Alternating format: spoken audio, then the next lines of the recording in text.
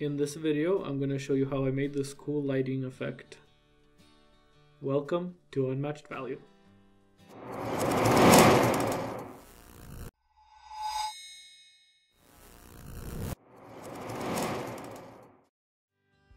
So before I go over how I made this, I want to just say that this is a quite a bit of work. It takes a while. Uh, I was doing research for my you know cool things series that I do.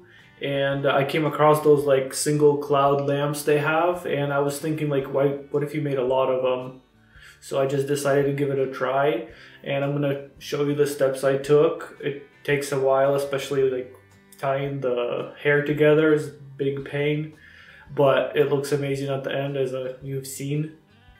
Also wanted to say that this is not the only way to do it. If somebody out there can come up with a better idea, make it cooler, do something different, love to see it, love to hear about it.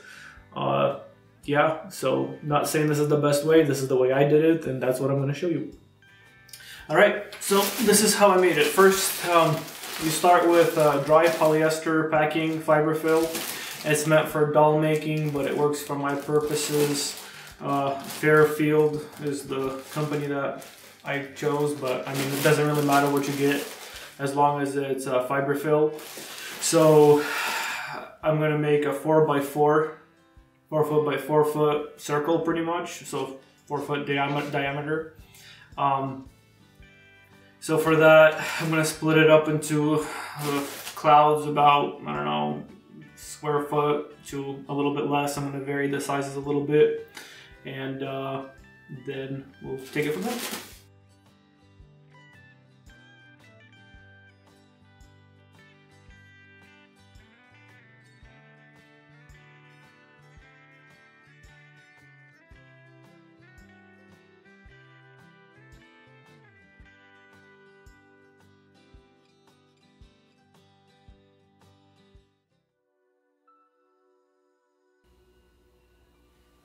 All right, so this table is about four and a half by three and a half feet. I think this should be enough. Um, in case what you're wondering what's over here, it's little tufts that aren't very cloud-like.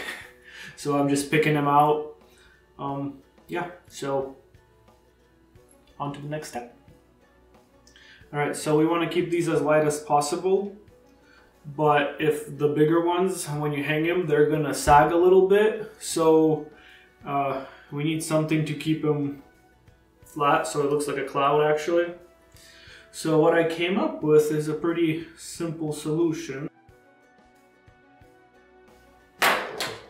So you take a regular soda bottle, doesn't matter what soda,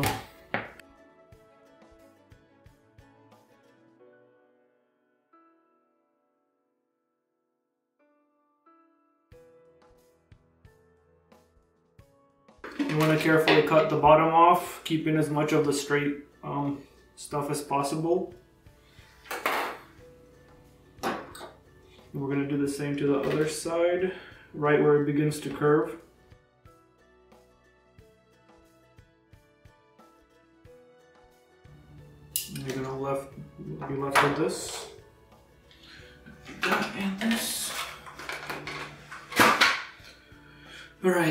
And now we're just gonna cut strips and we're gonna put them inside the clouds.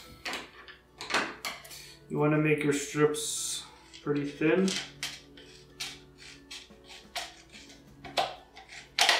About a quarter of an inch probably.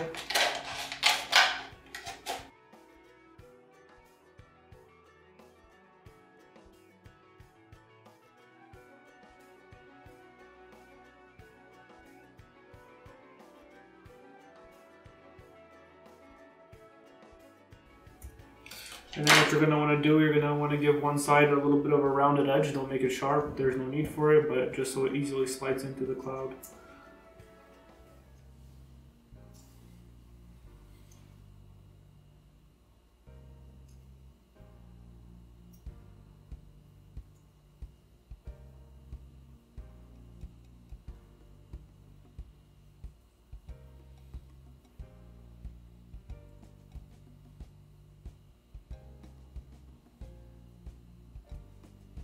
and I gotta work it in there.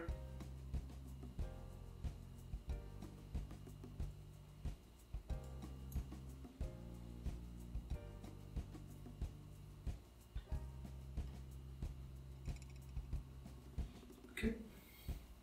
And now the cloud will be nice and level. And it's see-through so it won't really show up when you put a light on it.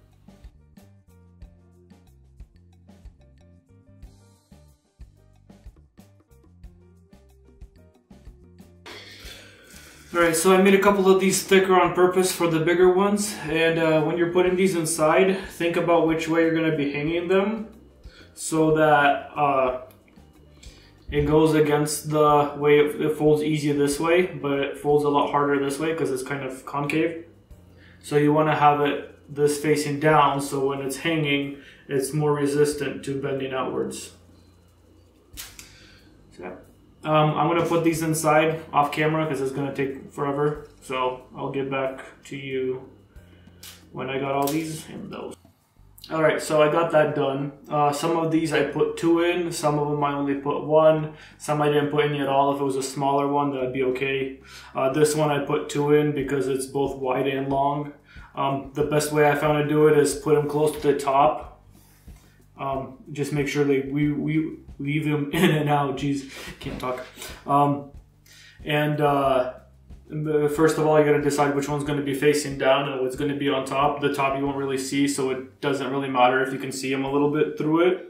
But on the bottom, it looks all good. Okay, so once you get that done, the next step is to hang it up. Now, I know the thinnest thing I could find that's even hard to see is uh, hair but since I'm lacking in that department, um, I went ahead and bought a wig, this gorgeous blonde wig, and plus I get to keep it after I'm done with this video. so uh, I'm gonna use this to hang it up. Um, human hair can hold about three ounces. Uh, this should be up, up to par, about three ounces too. Um, these are usually about two ounces each, so it should be fine. Alright, so I got a chance to practice a bit. Um, perfect the technique. So I'm going to show you how I'm going to be doing the rest of these. Did a couple already. Okay, so you take one piece of hair, lay it out like this, put the cloud over it, um, get both sides. And you're going to need a lot of patience for this if you decide to do this. Um, just tie a simple knot.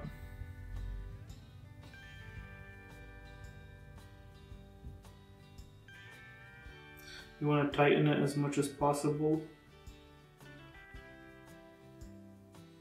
Okay. You'll have something that looks like this. Um, cut off any extra that you have. As close as possible to the knot. So that you have something like this. Then turn it this way and get another piece of hair. Once again down the center.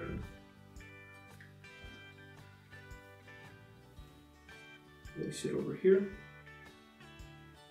Get the two sides.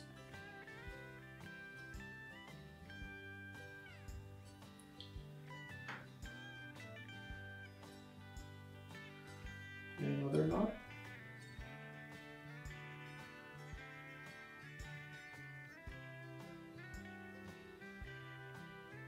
Okay. Cut off the extra.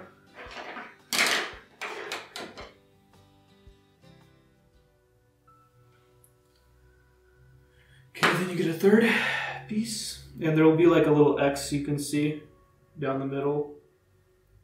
So go through the X from one side to the other, and then just make another knot.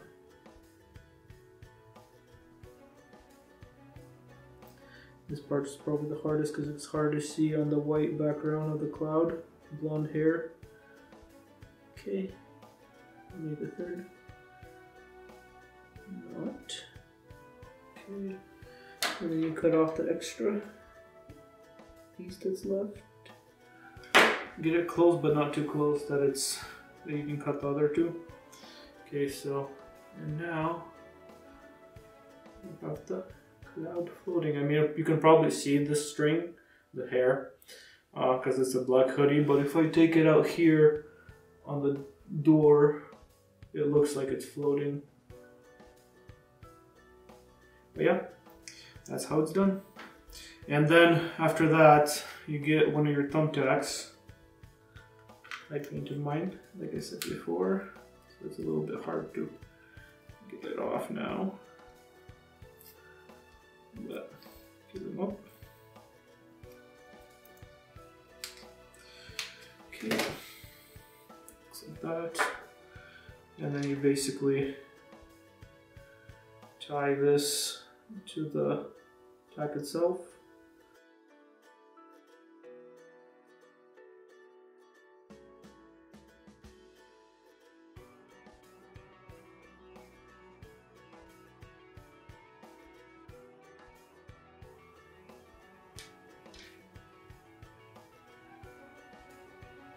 Okay, there we go. So once you get that done, just cut off the cut off this little part here, and then it'll attach to the ceiling like that, and it'll hold it up. All right, so this is where I'm gonna set it up. So I'm gonna get rid of this because I don't need it. And uh, so I'm not gonna need this light bulb because this is just plain white. This one I'm gonna keep. Uh, this light bulb is controlled by Bluetooth, so I can change the color, I can change the brightness, and I want it facing this way. And then this one is not controlled by Bluetooth, there's just a little remote. This one's way weaker, so I'm gonna face it this way. In case I'm watching a movie or something, I just want a little ambient light. Okay. So next thing I want to do is I want to focus the light down onto the clouds. I don't want it spreading out to the sides too much. So I just got regular pieces of paper and some tape. Three pieces of tape and I'm just going to tape it around like this.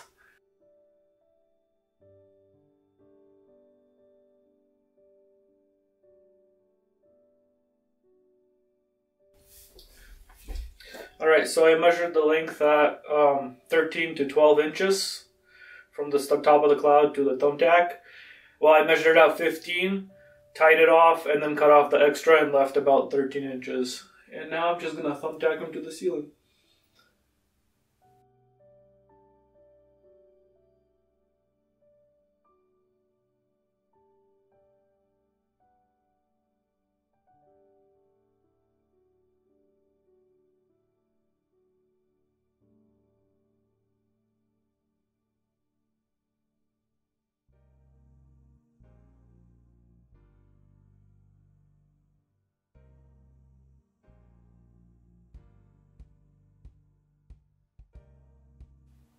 Alright, so this is what I got so far. Um, I like the way it looks, I really do, from this angle.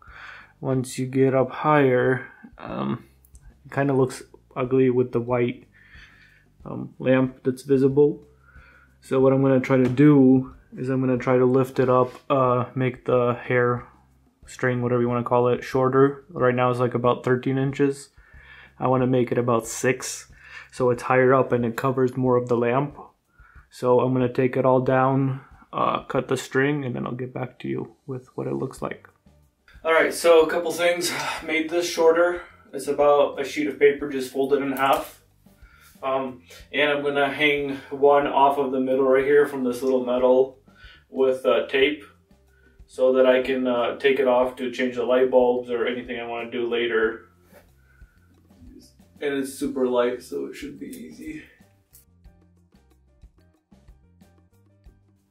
So if anything, I can take it off and get to the light bulbs. Um, shorten the strings, they're all about 7 inches, so they should be right up here. Uh, so yeah, just gonna put it up now. Okay, now that I've got the initial layer down, I'm just gonna take a new bag and uh, take out little puffs that are really light and fill in the gaps. It'll give it a more 3D look and at the same time you won't be able to see the light bulbs.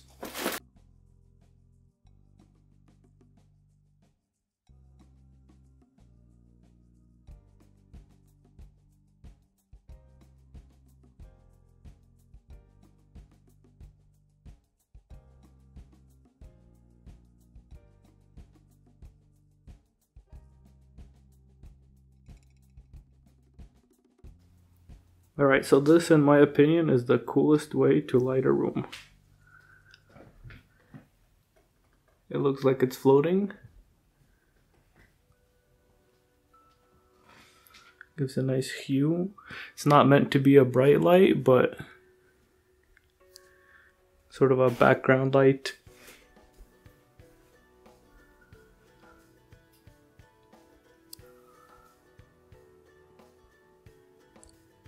So since I have it connected to a Bluetooth um, app, I can adjust any color I want.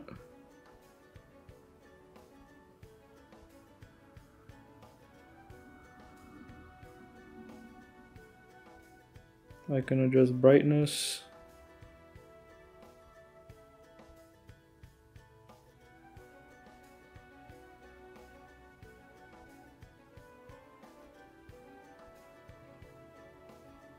Yeah, really cool looking.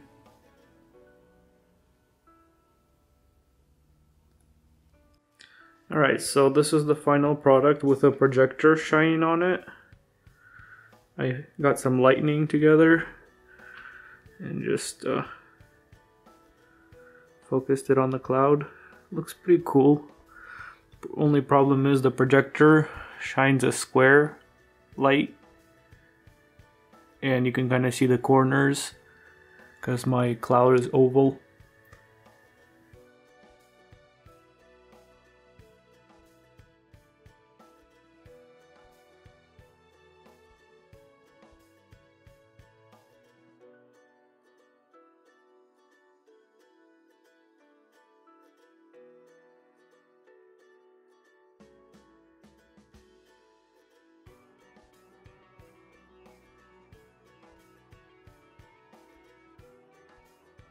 Thank you guys for watching. If you have any ideas on how to make this better or if you do something like this, I'd love to see it. If you like, comment it, or subscribe, thank you very much. That helps me out. See you next time. Have a great day.